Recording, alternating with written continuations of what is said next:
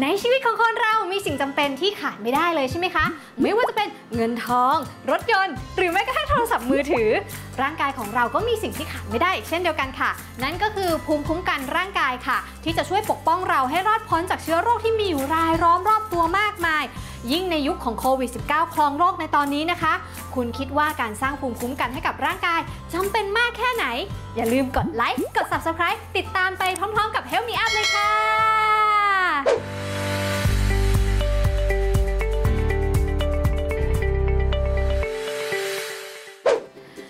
ดีค่ะ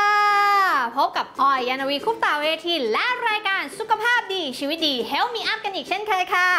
วันนี้เราจะมาว่ากันด้วยเรื่องของความจำเป็นของร่างกายที่ต้องมีภูมิคุ้มกันกันค่ะไม่ต้องสืบเลยนะคะว่าภูมิคุ้มกันของร่างกายเนี่ยมีความจำเป็นขนาดไหน เพราะสถานการณ์ในปัจจุบันที่มันมีแต่โควิด โควิด แล้วก็โควิด แบบนี้นะคะทำให้ทุกคนอยากให้ร่างกายของตัวเองมีภูมิคุ้มกันไวรัสนี้สักทีใช่ไหมล่ะคะ เพราะเห็นรายงานตัวเลขผู้ติดเชื้อแล้วก็ผู้เสียชีวิตรายวันแล้วเนี่ยโอ้ยใจคอเราไม่ค่อยดีเลยค่ะ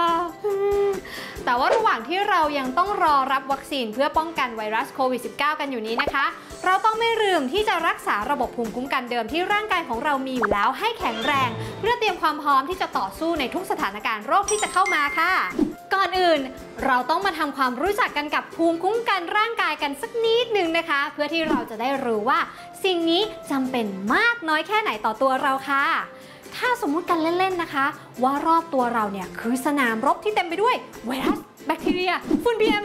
2.5 ทุกอย่างพร้อมที่จะเข้ามาทำร้ายตัวเรา ภูมิคุ้มกันร่างกายของเราก็ไม่ต่างอะไรกับกำแพงหรือปราการที่เป็นสิ่งก่อสร้างทางยุทธศาสตร์ที่ถูกออกแบบมาเพื่อป้องกันตัวเรา ให้พ้นภัยอันตรายนี้ค่ะ ดังนั้นภูมิคุ้มกันร่างกายนะคะ จึงแทบจะกำหนดชีวิตเราได้เลยนะคะ เพราะใครที่มีภูมิคุ้มกันไม่แข็งแรง หรือภูมิคุ้มกันต่ำหากป่วยขึ้นมาก็จะมีอาการหนัก หรือรุนแรงจนถึงขั้นเสียชีวิตได้ค่ะ ซึ่งผิดกับผู้ที่มีร่างกายแข็งแรง หรือภูมิคุ้มกันที่ปกติดีค่ะกลไกตามธรรมชาติในร่างกายของเรา ได้สร้างระบบภูมิคุ้มกันให้ติดตัวเรามาทุกคนอยู่แล้วนะคะ โดยมีเซลล์เม็ดเลือดขาวที่วิ่งวนอยู่ในกระแสเลือดของเรา เป็นกำลังสำคัญที่จะช่วยต่อต้าน และลดการแพร่กระจาย และกำจัดเชื้อโรค และสิ่งที่การันตีว่าภูมิคุ้มกันร่างกาย คือสิ่งที่จำเป็นมากกว่าที่คิด ก็คือเทรนด์อาหารสมุนไพรหรือ superfood ในปี 2021 นี้ ที่ได้รับความสนใจอย่างสูงในการเข้ามาช่วยเสริมสร้างภูมิคุ้มกันให้กับร่างกายอีกทางหนึ่งค่ะ ภูมิคุ้มกันของร่างกายเรานั้นมีอยู่ 3 ประเภทด้วยกันนะคะ ประเภทที่ 1 ภูมิคุ้มกันที่มีมาแต่กำเนิด โดยร่างกายของเราเป็นผู้สร้างขึ้น และติดตัวเรามาตั้งแต่เกิดค่ะ เช่น ผิวหนังแล้วก็เยื่อบุต่างๆ ซึ่งถือเป็นด่านแรกที่ป้องกันเชื้อโรค แล้วก็สิ่งแปลกปลอมที่จะเข้าสู่ร่างกายของเราค่ะ ประเภทที่ 2 ภูมิคุ้มกันแบบเจาะจง ซึ่งร่างกายของเราก็สร้างขึ้นมาเองอีกเช่นกันค่ะ แต่จะถูกสร้างหลังจากเกิดอาการเจ็บป่วยแล้ว ซึ่งจะเป็นภูมิคุ้มกันแค่ระยะเวลาหนึ่ง หรือตลอดชีวิตก็ขึ้นอยู่กับชนิดของโรค และก็ความสมบูรณ์ของร่างกายของแต่ละคนด้วยนะคะ และสุดท้ายประเภทที่ 3 คือภูมิคุ้มกันแบบรับมาจากภายนอกร่างกายไม่ได้เป็นผู้สร้างเองค่ะ เช่น เซรุ่มแก้พิษงู วัคซีนบาดทะยักวัคซีนพิษสุนัขบ้า วัคซีนป้องกันไข้หวัดใหญ่ หรือวัคซีนที่เป็นความหวังและทางรอดของเราทุกคนในขณะนี้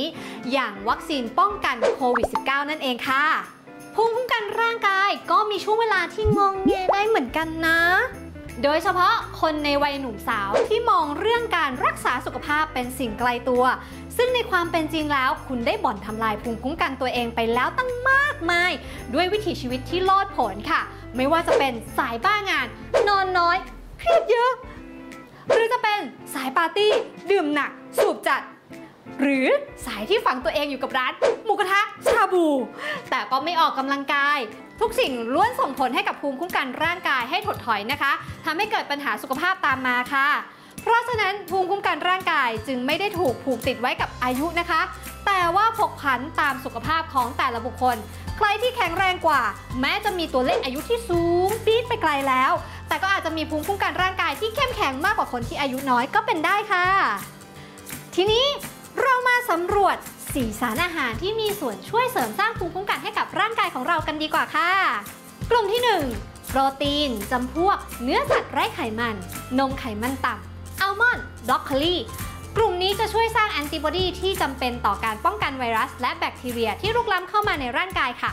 กลุ่มที่ 2 วิตามิน และสารพฤกษเคมี กลุ่มนี้เน้นไปทางพืชผักผลไม้ โดยเฉพาะวิตามินซี ซึ่งเป็นตัวเสริมสร้างภูมิคุ้มกันที่สำคัญที่สุดนะคะ กลุ่มที่ 3 โปรและพรีไบโอติกเราต้องเติมจุลินทรีย์ให้ร่างกายด้วยนมเปรี้ยว โยเกิร์ต หรือกิมจิบ้างนะคะ จะช่วยให้ระบบย่อยอาหารของเราที่เกี่ยวข้องกับการทำงาน ของภูมิคุ้มกันร่างกายทำงานได้ดีค่ะ กลุ่มที่ 4 กรดไขมันโอเมก้า 3จำพวกวอลนัทชัวลันเตา หรือปลาทะเลน้ำลึกจากต่างประเทศ ซึ่งจริงๆแล้วปลาไทยๆตามบ้านเราเนี่ย อย่างเช่นปลาทูปลาช่อนปลาสวายก็มีโอเมก้า 3 ไม่แพ้ปลาชาติใดในโลกเช่นกันค่ะ ลองหันมาทานกันได้นะคะ ไม่ว่าในอนาคตจะเป็นยังไง สิ่งที่อยากให้ทำก่อนในตอนนี้ คือหันมาพักผ่อนให้เพียงพอ ออกกำลังกาย รับประทานอาหารที่มีประโยชน์ถ้ารู้สึกตึงๆ เครียดๆ ก็ลองปลูกต้นไม้ นั่งสมาธิดูบ้างค่ะ วิธีง่ายๆ แค่นี้สามารถสร้างภูมิคุ้มกันให้กับร่างกายได้อย่างดีเยี่ยมเลยนะคะะว่าภูมิคุ้มกันร่างกายมีความจำเป็นมากแค่ไหน อย่าใช้ชีวิตที่ต้องวิ่งเข้าวิ่งออกแต่โรงพยาบาลกันเลยนะคะ หันมาเสริมสร้างภูมิคุ้มกันในร่างกายให้กับตัวเองกันดีกว่าค่ะ ไม่มีอะไรดีไปกว่าการมีสุขภาพแข็งแรงแล้วล่ะค่ะเพราะเราเชื่อว่าสุขภาพดีมีค่ามากกว่าเงินทอง อย่าลืมรักษาสุขภาพกันด้วยนะคะ สุขภาพดีชีวิตดี Help me up กดติดตามกันต่อไปเลยค่ะ